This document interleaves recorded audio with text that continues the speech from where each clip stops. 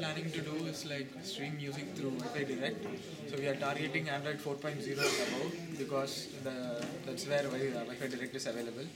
So far we have hit the API. We have sta- started discovering devices and we were able to set up a connection. And yet we are uh, next step is like opening a stream and sending data, and you have to play it in play it as a, as and when we receive this.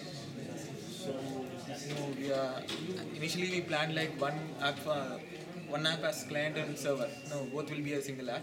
So it is difficult to debug for us now. So we are creating a separate app for receiver and a separate app for sender. Once it works fine, we'll merge the, the two apps and we'll make it as one. So you're actually able to discover the Wi-Fi uh, Wi-Fi devices. Or Wi-Fi. yes, we are able to list the peers. Okay. Okay, and we are able to send request, and if they accept, we are able to connect.